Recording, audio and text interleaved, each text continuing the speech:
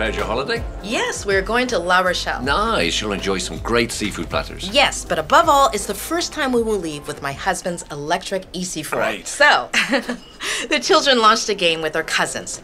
Top Start. They want to compare the travel time between their thermal car and our electric car. That's nice. You'll have to tell me who the winner is. Ta da! What kind of menu's that? I got you a cabled menu.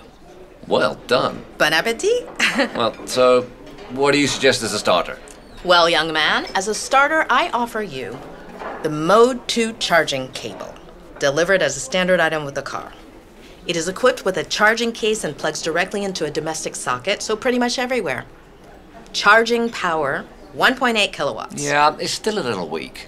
No, because with this same cable, you can connect to the Green'Up socket, which allows you to double your charging power. 3.7 kilowatts, boom. That's much better. And so what's on the main course? For you, young man, as a main course, I offer you the Mode 3 charging cable with a specific ta-da connector, which allows you to connect to a wall box.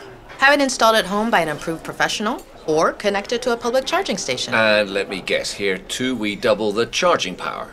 oh my, we learn fast, young man. 7.4 kilowatts. Or even 11.1 if your car is equipped with the optional three-phase onboard charger. Great. And so, cheese and dessert? Dessert. It is mode 4, but you won't see it here as it's built directly into the fast charging station. A charge at lightning speed, if I remember correctly. It's my favorite. Yes, I understand, but it's especially useful on long journeys. That's why you find it mainly on highways. And this is the one you will use for most of your trip to La Rochelle. I'll tell you when I come back. And by the way, who won the kids' top start game? Well, there, you'll be amazed.